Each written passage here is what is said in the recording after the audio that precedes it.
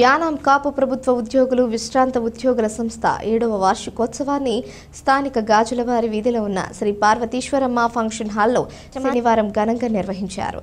కార్యక్రమానికి ముఖ్య అతిథిగా ది యానాం తెలగా కాపు అభ్యుదయ సంఘం అధ్యక్షులు కాటంశెట్టి వెంకట రామ్మూర్తి పాల్గొన్నారు. సంస్థ ప్రెసిడెంట్ చింతం రామకృష్ణ మాట్లాడుతూ సంస్థ చేసిన సేవా కార్యక్రమాలను ఉద్యోగులకు వివరించారు. ఈడబ్ల్యూఎస్ రావడం వల్ల కాపు యువత ఉద్యోగాలు పొందారన్నారు. ప్రధాన కార్యదర్శి తోట వినోద్ కుమార్ సంస్థ యొక్క విధి విధానాలను జమా ఖర్చులను తెలిపారు. ఎల్డీసీ యూడీసీ ఉద్యోగాల్లో అత్యధిక శాతం యానం అభ్యర్థులు సాధించారని అందుకు కారణం గొల్లపల్లి శ్రీనివాస్ అశోక్ సహకారంతో ఉచితంగా ఏర్పాటు చేసిన కోచింగ్ సెంటరే కారణమన్నారు. అనంతరం నూతన కార్యవర్గంపై చర్చించారు. ముందుగా లేబర్ డిపార్ట్మెంట్లో పనిచేస్తూ ఇటీవల కాలంలో మరణించిన బెజవాడ శేషు బాపనయ్యకు సంతాప సభ ఏర్పాటు చేసి ముఖ్య అతిథులు సంస్థ సభ్యులు నివాళులర్పించారు. ఈ కార్యక్రమంలో నల్లా వెంకన్న గాజుల బ్రహ్మానందం చెక్కల అరుణ్ కుమార్ హంసాని రామలక్ష్మణుడు సంస్థ ప్రతినిధులు సభ్యులు పాల్గొన్నారు. బండారు ఎస్ఏ మాల్యదేవ్ తోటపనేడి వీరబాబు స్వర్గీయ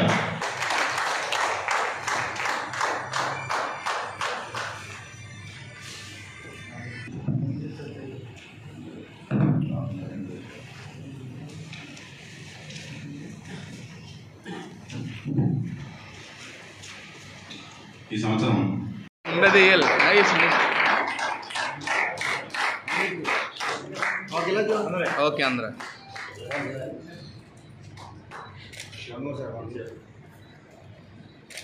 కూడా ఎక్స్పెండిచర్ ఎంత అయిందంటే ముప్పై ఒకటి ఎనిమిది రెండు వేల ఇరవై మూడుకి రెండు లక్షల ఎనిమిది వేల ఐదు వందల యాభై రూపాయలు గత ఏడు సంవత్సరాలుగా మనం ఖర్చు పెట్టింది. కానీ కానీ మన కరోనాలో ఆ అమౌంట్ ఇందులో ఇంక్లూడ్ అవ్వలేదు. ఎందుకంటే కరోనాలో ఎవరైతే ఇస్తారో లైఫ్ మెంబర్ కాకుండా ఇంట్రెస్ట్ కాకుండా వాళ్ళకి ఇమ్మని చెప్పి సెపరేట్గా అడిగితే మన సంస్థ ప్రతి సంవత్సరం కూడా యానివర్సరీ తొమ్మిదో తారీఖుని జరుపుకోవడం జరుగుతుంది. మొదట ప్రెసిడెంట్గా చేసిన నాలుగు సంవత్సరాలు ఉన్న వీరవేంక సత్యనారాయణ గారు నాలుగు సంవత్సరాలు చేశారు. అప్పుడు కూడా జనరల్ సెక్రటరీగా నేను చేశాను. నాలుగు సంవత్సరాల్లో ఒక సంవత్సరం మినహా మిగతా మూడు సంవత్సరాలు కూడా మనం ఈ కార్యక్రమం చేస్తున్నాం. అలాగే ఇప్పుడు గత మూడు సంవత్సరాలుగా చూసుకుంటే కరోనా వచ్చింది కాబట్టి ఒక సంవత్సరం మిస్ అయ్యాం. దాన్ని మళ్ళీ నాలుగు సంవత్సరం మూడు సంవత్సరాల నుంచి మళ్ళీ రెండు సంవత్సరాలు చేసాం. ఇప్పుడు ఏడు సంవత్సరాల యానివర్సరీలో ఐదు సంవత్సరాలు చేయడం జరిగింది.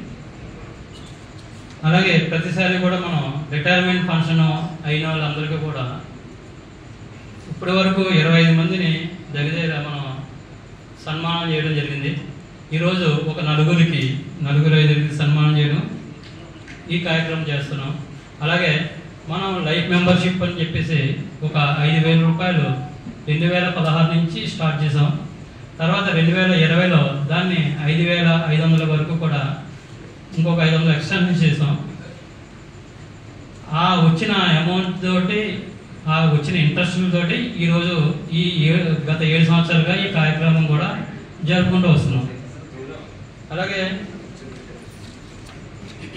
ఈ ఇచ్చిన లైఫ్ మెంబర్ అందరికీ కూడా ప్రత్యేక ధన్యవాదాలు చెప్పుకున్నాం. ఎందుకంటే చాలాసార్లు దయ వల్ల మనం ఒక కళ్యాణ మండపాన్ని నిర్మించుకోగలిగిన అలాంటి కాపు కళ్యాణ మండపం కట్టడం మాట్లాడిన విషయం కాదు. ఒక్కొక్కరు బాబీ గారు కానీ రామూర్తి గారు కానీ పాతికేసి లక్షలు ఇచ్చి ఈరోజు డొనేషన్ ఇచ్చారంటే వాళ్ళందరినీ మనం ఇప్పుడు కూడా అలాగే మనం మర్చిపోకూడదు. ఎందుకంటే రోజు అలాగే మన అందరికీ తెలుసు ఆ కళ్యాణ మండపం స్థాపించిన దాతలు కూడా మనం ఇప్పుడు మర్చిపోకూడదు కళ్యాణ మండపం నిలబెట్టుకున్నాం అలా రెండోది మనం ఎప్పటి నుంచో మన కోరిక ఎమ్మెల్యేని మన కాపు అభ్యర్థన చేయాలనుకున్నాం. సా- అది కూడా మనం ఈరోజు సాధించగలిగాం. ఈ రెండు మనకి అలాగే మన ఎమ్మెల్యేని కూడా మన అందరం పోయి మన వాళ్ళందరికీ ఏదో రూపంలో ఇండైరెక్ట్ డైరెక్ట్గానే ఇండైరెక్ట్ పొలిటీషియన్కి ఎప్పుడు కమ్యూనిటీ ఎక్కువ క్యాష్ ఉండకూడదు అని ముద్ర పడకూడదు అనే ప్రయత్నాలు వాళ్ళు ఉంటారు. కానీ ఇండైరెక్ట్ మనకు మనకి చేసి ప్రయత్నం మనం చేయించుకోవాలి. ఆ- ఆయనతోటి అది కూడా మనం. అలాగే ఇంకో విషయం ఏంటంటే మనలో ఎవరన్నా ఎదుగుతుంటే లాగే వాళ్ళు ఎక్కువైపోయారు ఈరోజు నేను సభాముఖంగానే చెప్తున్నాను.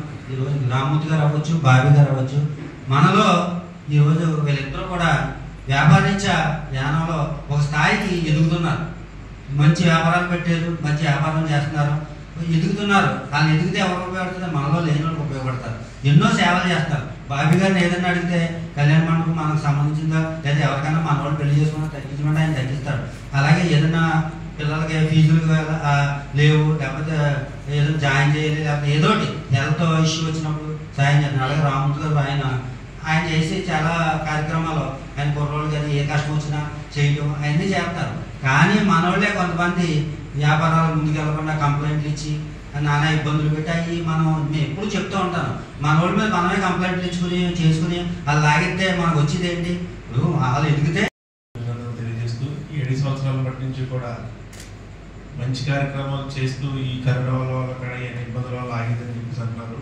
అలాగే మన యానంలో అందరూ ఎంప్లాయీస్ అందరూ కూడా దగ్గర నూట నలభై తొమ్మిది మంది ఎంప్లాయీస్ ఉన్నప్పుడు ఇంకా మంచి ఫండ్ కలెక్ట్ చేసి ఇంకా మంచి మంచి కార్యక్రమాలు చేయాలని చెప్పేసి మనస్ఫూర్తిగా కోరుకుంటున్నాను.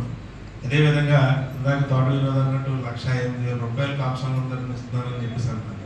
లక్ష ఎనిమిది వేల రూపాయలే కాకుండా అందులో చాలామంది ఫండ్స్ ఇచ్చారు.